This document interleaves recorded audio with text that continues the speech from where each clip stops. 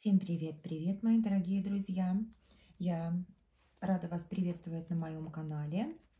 Сегодня хочу рассмотреть с вами вот такую непопулярную абсолютно колоду «Мистика витражей». Я в последнее время, честно говоря, все больше и больше уделяю а, времени и внимания колодам, которые были э, именно прорисованы. Это не компьютерная графика, не серия коллажей. А, ничего против таких колод э, я не имею, но это, скорее всего, просто не совсем э, моя стилистика. И восприятие таких колод у меня немножечко идет по-другому. Хотя с точки зрения художественной части эти колоды весьма и весьма могут быть достойны. И в ближайшее время я обязательно сниму обзор на две шикарные колоды, именно с компьютерной графикой, именно с коллажами, которые мне очень нравятся, они заслуживают ну, э, достаточно такого серьезного внимания, рассмотрения, а, изучения и принятия. А сегодня мы поговорим с вами о мистике витражей. Это абсолютно непопулярная колода. Автор Элизабет Тревизан. Э, выпущена колода была впервые в 2001 году. И в 2008 году э, Авалон повторил выпуск. Первый выпуск был Левелин, а в 2008 выпуск Авалоновский. И здесь сразу хочу оговориться о том, что здесь сила будет 11, правосудие 8. То есть, по сути, у нас идет с вами что? Марсельская традиция. Да, здесь идут непрорисованные младшие арканы, но э, в чистом виде сказать, что они не прорисованы, ребят, это будут совсем ну, неправильная такая трактовка, потому что сейчас мы с вами посмотрим, конечно, их. Вы реально поймете, что это все далеко от истины, но если касательно именно э, событийных сюжетов, как мы с вами привыкли видеть именно э, через карты Таро, да, младшие арканы здесь идут не прорисованные. Э, у меня две колоды мистики витражей. Вот в таком варианте. Это коллекция Ашет. Э, одна у меня запечатанная полностью. С этой колодой я работаю. В комплекте, кроме карт, идет две карточки с рубашкой. Рубашка великолепная, красавица просто завораживает глаз. Вот. Качество, конечно, ашетовское мне очень нравится. Плотные карты в работе откликаются замечательно. А что касательно самой колоды. Основной сюжет – это витраж. Поэтому, конечно, вот витражи и название, вот эта мистика витражей. То есть это сюжетная и декоративная композиция – вот, из цветных стекол, может быть из другого материала синтетического, который пропускает свет. И вот через этот призму этого света мы с вами и рассматриваем, в, принципе, и сюжеты, и событийность, и э, чувствуем архетипы. Вот. И так как художница Элизабет Тревизан хотела передать всю вот эту мягкость, легкость света, а, то параллельно с этим мы видим не только э, интересные символы, но и похожую символику э, образов, которые были предоставлены нам в колоде Таро э, Густава Климта. Вот у меня почему-то эти две колоды, они как бы откликаются, перекликаются между собой. Вот у меня какая-то вот, не знаю, подсознательная связь этих двух колод. Вот Таро «Мистика витражей» и Таро Густава Климта. Ну и, естественно, стиль, в котором создана колода, это стиль Либерти, это стиль арт-нуво, это стиль, который я очень-очень люблю. И если кто-то любит вот эту загадочную ауру, которую вы ловите в каком-то средневековом соборе, вот этот струящийся свет, который идет через витражи, и вы смотрите эти лучи, которые падают через цветные стеклышки на те же самые образа, и вы входите в какой-то непонятный поток энергии, который вас вообще вот э, приподнимает от земли, от пола, вот у меня такое ощущение, когда я нахожусь в готических э, залах, когда я нахожусь а, в готических соборах, и я вижу вот эти вот витражи, я от них не могу оторваться. У меня такое волнительное чувство внутри возникает. У меня какая-то такая подъемная волна а, на, на уровне груди и горла подступает. А, я как завороженная смотрю на это, мне хочется дотрагиваться, мне хочется поймать этот лучик. В общем, со мной происходят какие-то невероятные вещи, но эти вещи мне безумно приятны. И э, глядя на эту колоду, конечно, я отдаленно вспоминаю те моменты, когда я была на каких-то экскурсиях, когда я была в каких-то очень интересных местах, где э, были витражи, и я ловила вот эти лучи света а, через витражные стекла, наполнялась вот этой вот энергией. Мне хотелось прямо стать под этот луч через витраж, который идет. Мне хотелось, чтобы вот этот луч прошел через меня. Вот такое ощущение у меня, как будто я через этот луч в этом готическом соборе наполняюсь какой-то, ну, какой-то высшей силой. Вот я поделилась ваш, э, с вами э, моими такими вот ощущениями, когда я э, бываю вот в таких очень интересных, мистических, загадочных, исторических местах с витражами. И я очень надеюсь, что эта колода, она тоже поможет вам, если вы любите готику, если вам э, интересна э, игра света, если вы э, наполняетесь лучами света через а, призму цветного стекла витражей, то я больше чем уверена, колода вам откликнется. Она абсолютно непопулярная, многими забытая. У кого-то есть она в коллекции, а кто-то ее активно продает, например, на тех же самых э, маркетплейсах, которые ну, вот, э, есть у нас в Беларуси. Это Эм, Аубай и Куфор, э, да, Куфор, площадка Куфор. Вот. И э, много, э, она очень многими недооценена, эта колода. Вот. Но сейчас я хочу вам э, именно показать карты, показать и немножечко дать вот эти значения классические, которые, возможно, возможно, помогут вам ее рассмотреть как-то с другой немножечко стороны. Так, итак, давайте посмотрим старшие арканы. Так, здесь у нас карта безумца, фигура дурачка, который вот весело пританцовывает вот на пути, символизм такой неосведомленности, непонятности, легкости.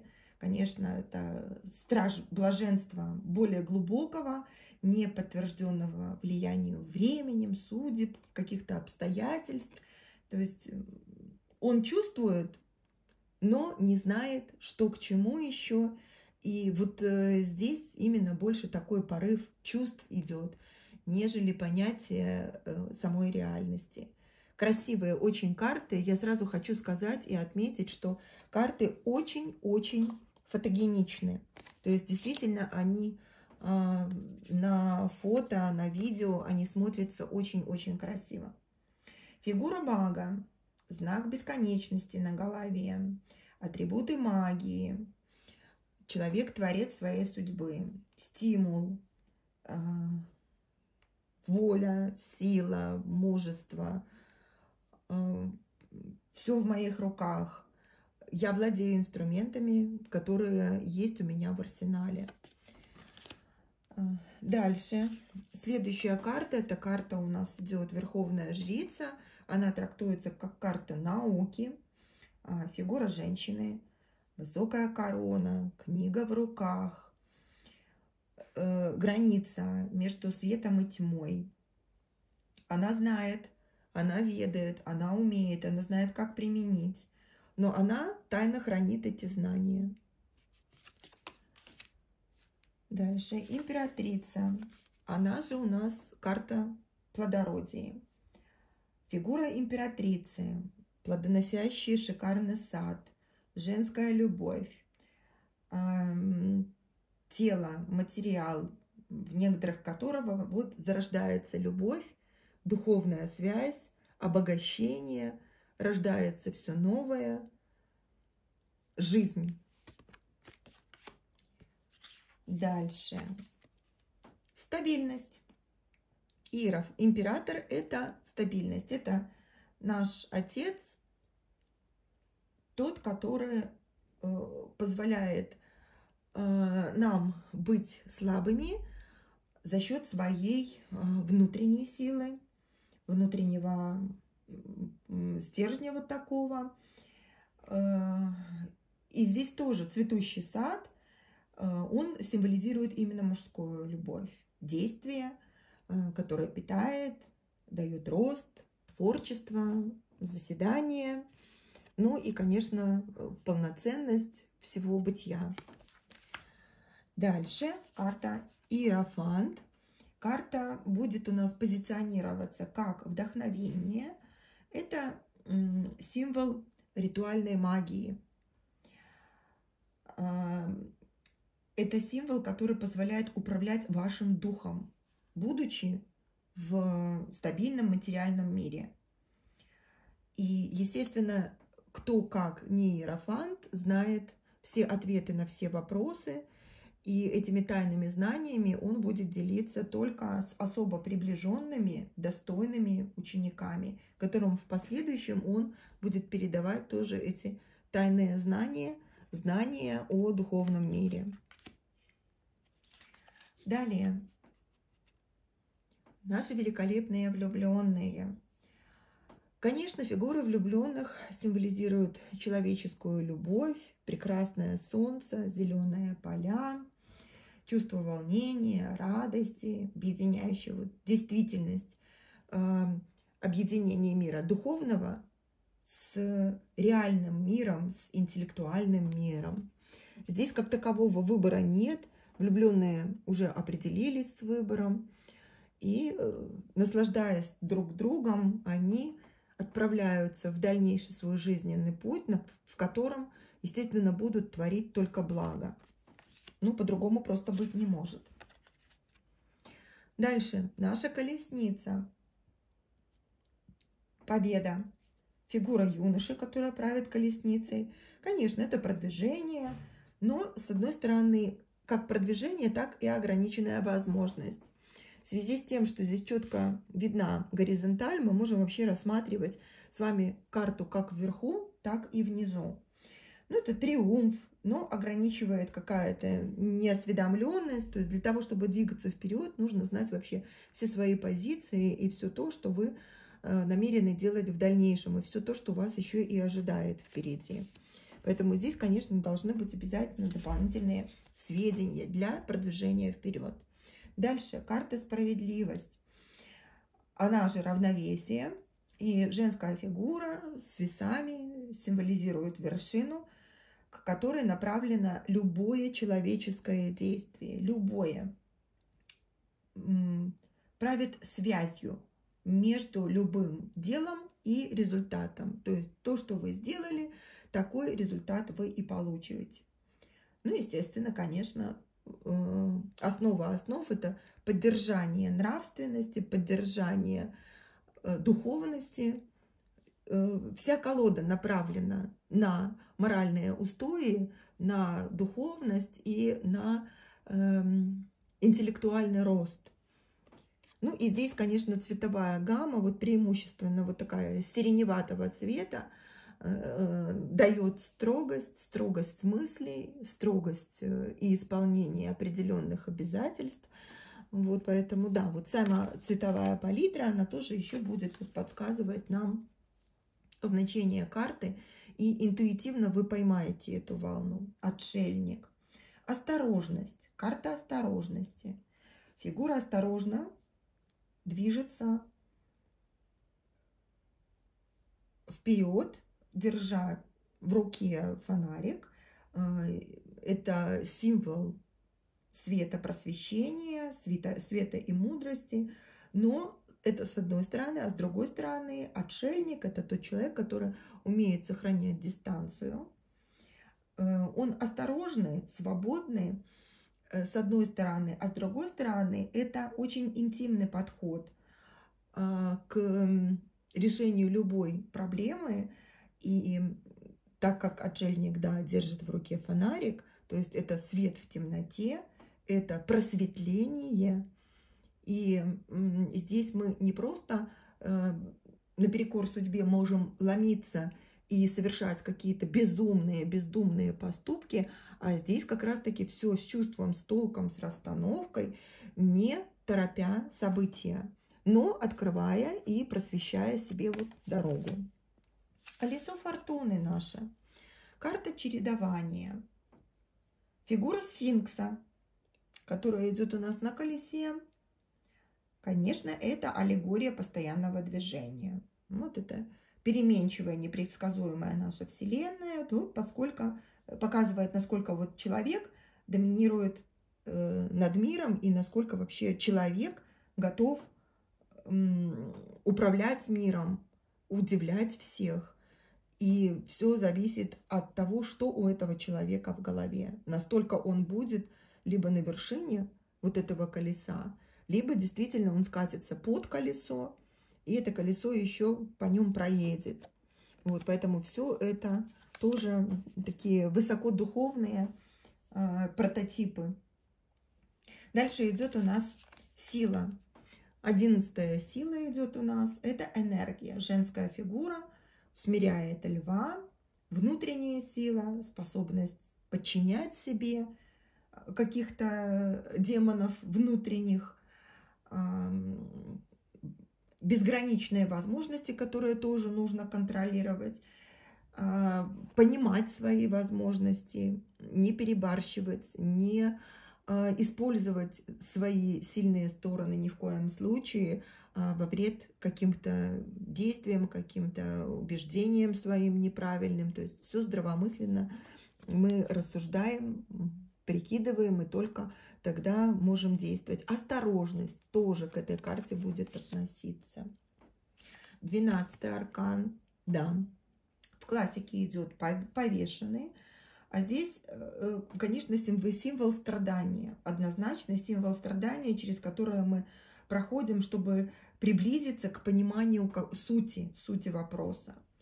И вот Божий суд, он как раз-таки и принесет нам озарение. То есть для того, чтобы принять иногда правильное решение, конечно, нужно войти в какое-то вот состояние лишения – и вот э, благодаря этому состоянию лишения у вас будет переоценка ценностей, вы на многие вещи посмотрите с другой стороны, и это правильно будет на самом деле. То есть для того, чтобы ввести себя вот в, эту, э, в это состояние, вы идете на определенные жертвы, моральные, материальные, борьба э, за свои какие-то устои. То есть все в этой карте может отражаться. Поэтому да, для того, чтобы открыты были новые дороги, иногда мы с вами чего-то должны лишать в конце концов. Дальше 13 аркан. Смерть. Карта означает конец. Аллегория смерти напоминает о том, что все имеет окончание, ничто не длится вечно. И постоянство проявляется и в изменении, и в движении, и в остановке. То есть, ну, отцвел цветок, погибли все плоды, или плоды мы собрали, например, да, и вот пришло время для того, чтобы посадить новое дело, вырастить, взрастить, это новое дело. Вот здесь смерть мне не кажется такой ужасающей, как на, бывает на других картах, поэтому достаточно она такая, ну, я бы не сказала, что прямо оптимистично настроена, но, по крайней мере, она в движении, и она не сечет вот эти головы, руки, ноги. То есть вот это вот просто процесс какой-то отмирания, и я немножечко ее больше даже ассоциирую с цикличностью колеса фортуны. То есть есть у нас периоды поднятия, есть у нас периоды испада. Так, трансформация дает нам карта умеренности. Это фигура полуангела, как мы видим с вами, получеловека, показывает, насколько мы умеем получать и отдавать. Вот к терпеливому человеку приходит забота, а к спокойному человеку приходит осознание. Поэтому вот карта в первую очередь будет говорить о том, насколько вы готовы отдать, столько вы и получите взамен – вот, и вот этот э, полуангел, пол, получеловек, вот он э, как бы на грани стоит, э, на грани аллегорического элемента, эм, когда мы можем быть приближенными к ангелам настолько близко, насколько мы будем делать и творить добро вокруг себя, насколько мы станем добрее – насколько мы станем участи, участливее и э, сочувственнее, насколько мы вообще в принципе сможем делиться даже своим собственным добром для того, чтобы в последующем приблизиться вот к этим ангельским существам. Далее, 15 аркан, аркан дьявола. Да, не такой он ужасный, страшный, как его обычно представляют в классических картах. Это карта инстинктивности, фигура человека, которая выходящего из тела змеи, э, показывает вообще, насколько мы зависим от материальных благ. Тут тело, кровь, инстинкт, ярость, страсть, бездуховность, на что мы можем вообще себя променять, на какие куски мы можем себя разрубить, и как материальные блага могут поглотить все человеческое, которое изначально природа нам дала э, при рождении, насколько мы можем это все растратить, насколько мы можем поменять все свои внутренние э, достоинства э, взамен – на получение вот этой материальности. Башня. 16 аркан. Аркан башня – это разрушение. Да, здесь фигура человека, падающего с башни, молния, верхушка башни ломается.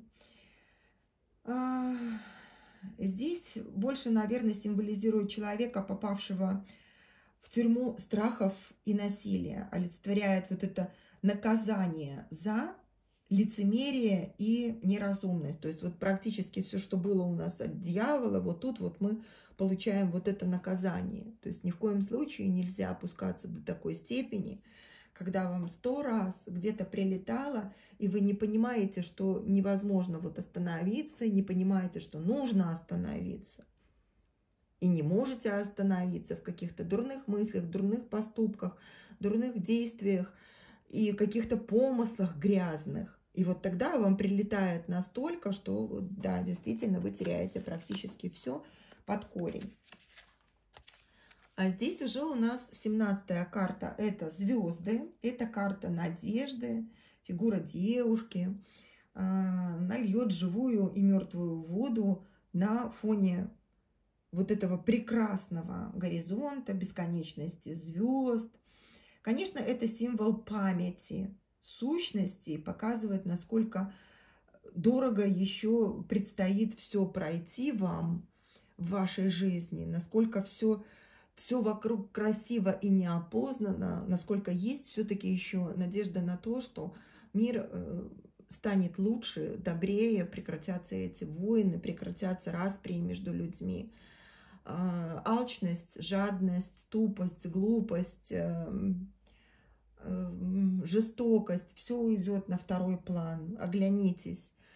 Э, несмотря на то, что все идет у нас в мире в равновесии, и мы хотим, конечно, чтобы всегда добро побеждало зло, как в старой доброй сказке, И чтобы это действительно было на его. Но все в наших руках. Действительно, здесь все в наших руках. Две руки у девушки, два сосуда держит в руках она. И здесь добро и зло, мертвая живая вода, равновесие есть. И мне бы хотелось, чтобы вот это равновесие, в котором происходит у нас нейтрализация э, добром зло. Зла, да. Следующая идет у нас карта звезда. Ой, луна, простите. Уже луна у нас идет. Луна это иллюзия. И здесь фигура, освещенная преломленным светом через э, мыльный пузырь, свет луны. А, конечно, это символ положения между реальностью и воображением. Там, где э, призраки мысли обрели форму и спрятали истину. Вот, поэтому, да, здесь проявление всех моментов тайных, раскрытие тайных моментов – либо наоборот, не нужно лезть туда, где пока вам не дано понять все, всей э, сути происходящего. Возможно, э, лучше, чтобы тайное было скрыто и оставалось скрытым. А возможно, вы никогда не докопаетесь до сути, и просто эти знания, эти, э, эта информация, она просто на данный момент вам не то, что не подвластна, она, возможно, и не будет вам, вами воспринята адекватно. Далее, солнце.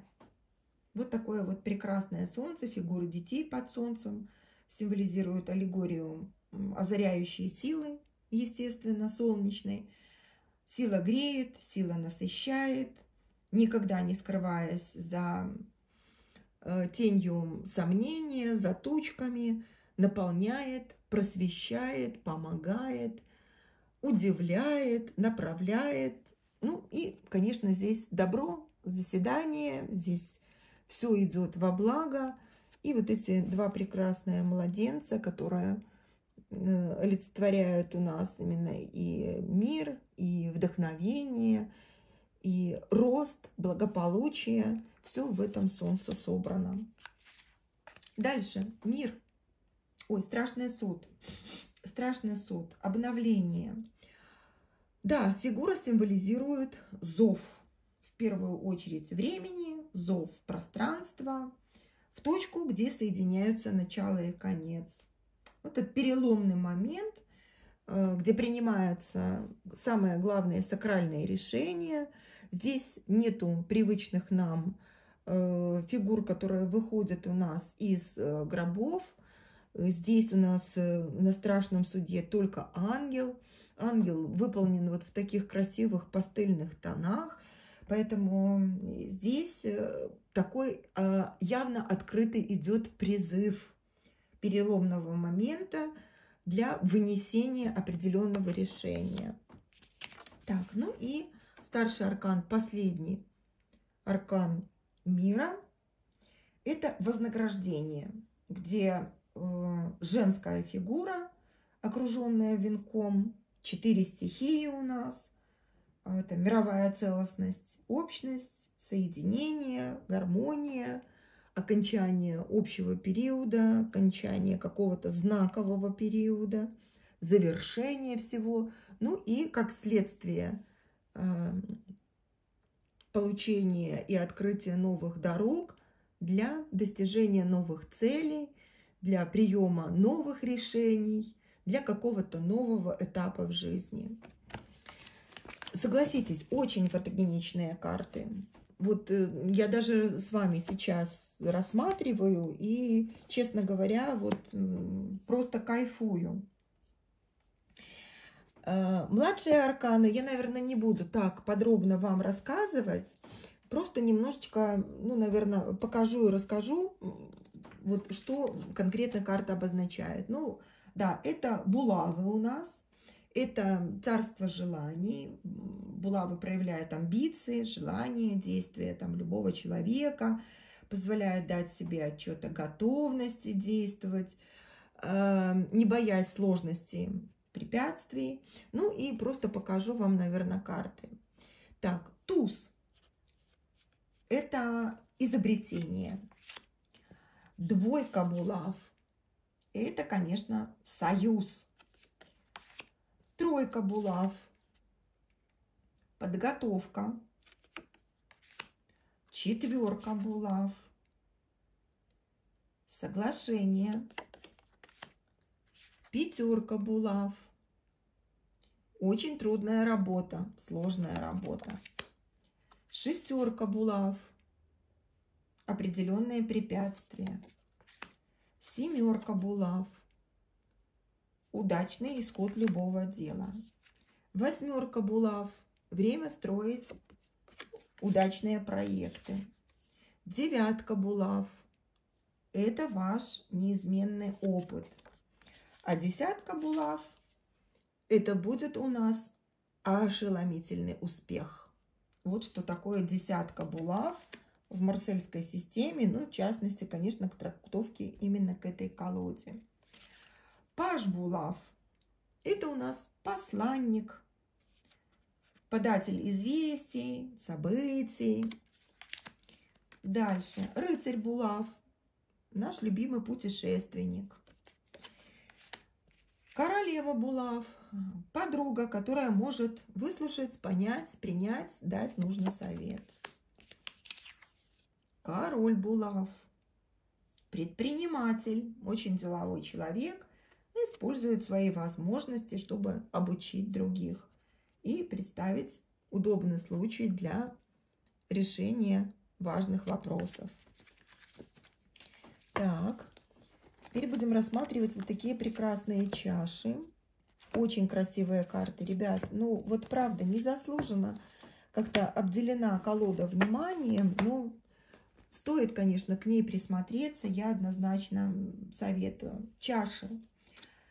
А, царство духа позволяют, конечно, проявлять эмоции, чувства, сообщаются с духовной, какой-то эмоциональной сутью человека. Ну и, в частности, чаш. Э, туз чаш – это изобилие. Посмотрите, какой же шикарный здесь туз. Изобилие. Двойка чаш – это страсть. Тройка чаш. Рост. Четверка чаш. Рождение. Пятерка чаш. Наоборот, лишение. Шестерка чаш.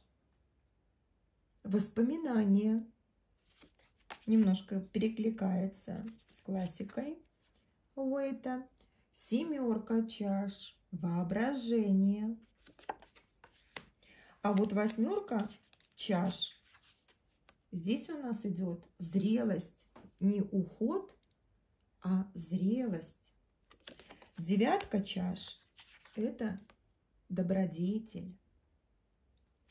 Десятка чаш – изобилие и признание.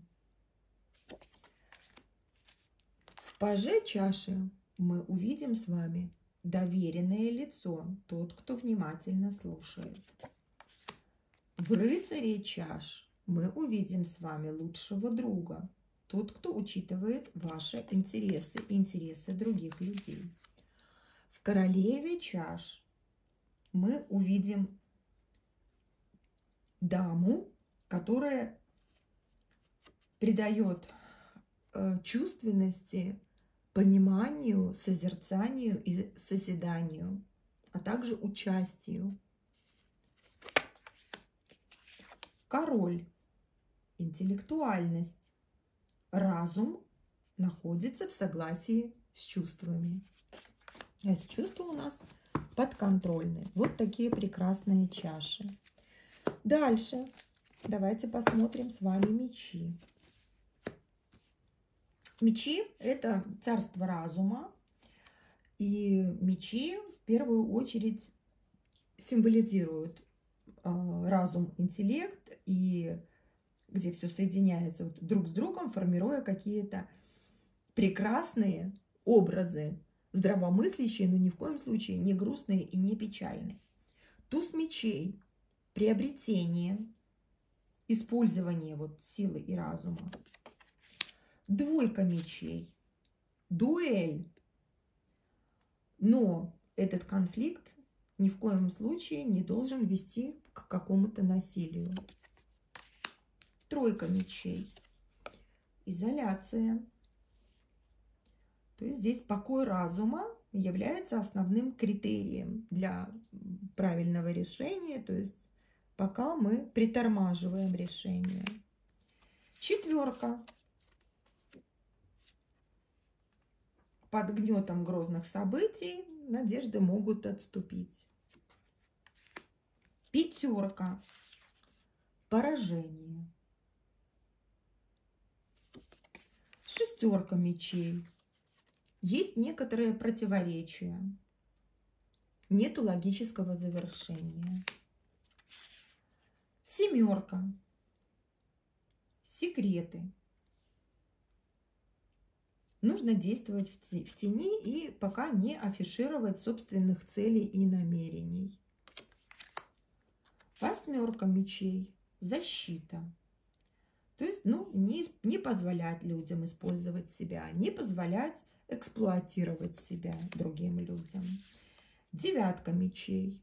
Полный самоконтроль. То есть, все под контролем нашим, и ни в коем случае мы ничего не должны упустить. Десятка мечей. Вот десятка мечей – это печаль, это боль, угрызение совести, слезы, зло, которое наносит нам удар. Это десятка мечей. В паже мечей мы видим с вами исследователя. Он ставит перед собой вопросы, анализирует жизненное проявление. В рыцаре мечей покорного служащего человека, доверенный, решительный человек. Но у него есть, конечно, и свои собственные идеалы. Умничка такая. Королева мечей ну, естественно, здесь будет у нас вдова. Тот, кто действует против собственных желаний. И существует с каким-то чувством печали, сожаления, скорби и так далее. Король мечей. Мудрость. Это хранитель у нас интеллекта и интеллектуальной науки. Вот такие у нас чудные мечевые.